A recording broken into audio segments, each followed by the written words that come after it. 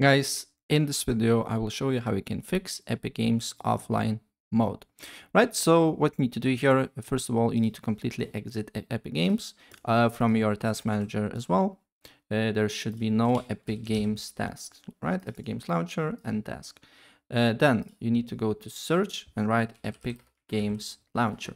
Right click on it, open file location, then right click again, go to uh, show more options, properties uh, where's properties?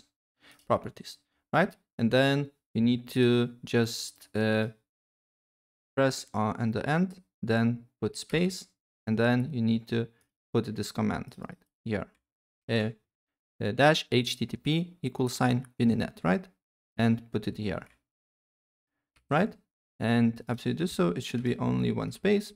And then what you need to do press on compatibility, make sure to run this program in compatibility mode 4, Windows 7, and select run this program as admin, and apply the changes, and your problem should be fixed. That's pretty much it.